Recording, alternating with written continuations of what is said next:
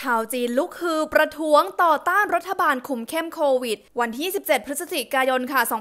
2565 สำนักข่าว BBC รายงานว่าการประท้วงต่อต้านมาตรการเข้มงวด เพื่อควบคุมการระบาดของไวรัสโควิด -19 ตามนโยบายโควิดเป็นศูนย์ของรัฐบาลจีน ทวีความรุนแรงขึ้นในช่วงไม่กี่วันที่ผ่านมา มีผู้ประท้วงจำนวนมากออกมารวมตัวในหลายเมือง โดยที่บางคนถึงขั้นแสดงความไม่พอใจพรรคคอมมิวนิสต์และขับไล่ผู้นำพรรคอย่างเปิดเผยค่ะ ประชาชนหลายพันคนยังออกมารวมตัวประท้วงในนครเซี่ยงไฮ้ต่อในวันอาทิตย์ ซึ่งหลายคนตะโกนสโลแกนต่อต้านพรรคคอมมิวนิสต์และเรียกร้องให้ประธานาธิบดีสีจิ้นผิงลาออก มีการเผชิญหน้ากับเจ้าหน้าที่และผู้ประท้วงจำนวนหนึ่ง ถูกตำรวจจับกุมและอีกด้านหนึ่งก็มีการชุมนุมของกลุ่มนักศึกษา เกิดขึ้นที่มหาวิทยาลัยหลายแห่งในกรุงปักกิ่งและนานกิงด้วยค่ะ เหตุความไม่สงบล่าสุดเกิดขึ้นไม่กี่วัน หลังจากเกิดการประท้วงที่เมืองอูรุมฉี